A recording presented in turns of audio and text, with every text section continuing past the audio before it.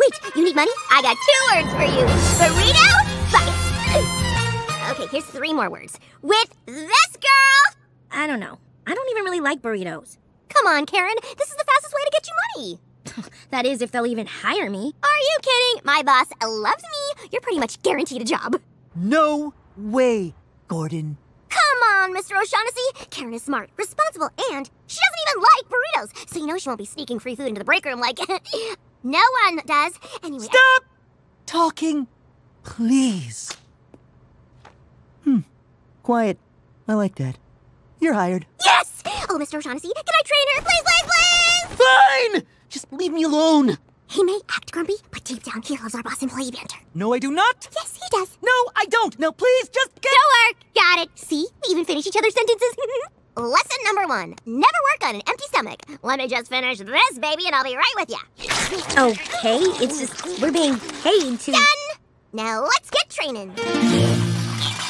If you cram it full of napkins now, you won't have to refill it later. Don't do it that way, Karen. Huh? Ooh, a customer! Time to learn the hallowed art of burrito making.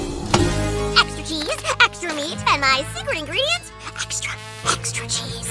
Behold the Babs special! Looks like it'll explode all over the place as soon as you bite it. That's what makes it so special. Don't make Babs specials, Karen. Mr. O'Shaughnessy? How's this?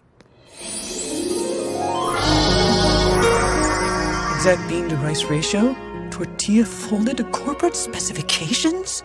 This is magnificent. The way I see it, whatever we clean today only gets messy again tomorrow, so why not wait till tomorrow and clean everything just once? But we're not scheduled to work tomorrow. Don't save it for tomorrow, Karen. A little mess never hurt any. Whoa, whoa! Ha ha! Nice try, Grease. Who is this guy? Mitchell Mayo, the greatest burrito singer who ever was. Some say he was so good that after he left the burrito game, the bucket stopped doing Employee of the Month because no one could ever. Ugh! Well played, Grease. Well played.